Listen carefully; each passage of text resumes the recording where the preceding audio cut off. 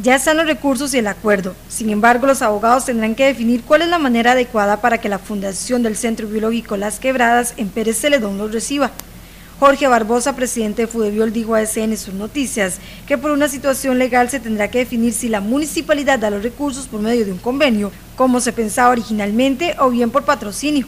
El dirigente indicó que es un tema legal que se espera resolver en los próximos días. No está finiquitado lo de los 5 millones, sí estamos muy esperanzados, precisamente eh, eh, teníamos en agenda que un, un punto era eh, la entrega del cheque, por decir algo, y, y, y los árboles, pero no, no se va a poder porque hay algunas em, situaciones legales que hay que resolver.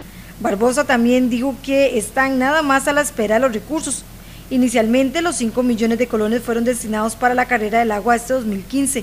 No obstante, al no concretarse la competencia, se tomó la decisión de que esos recursos sean utilizados para otro fin, pero propiamente sí en la organización.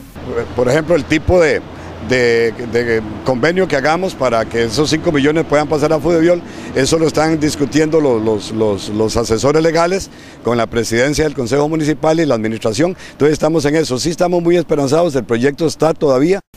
La intención ahora es crear un bosque municipal con unos 200 árboles de diferentes especies, como parte del programa Un Árbol para la Vida.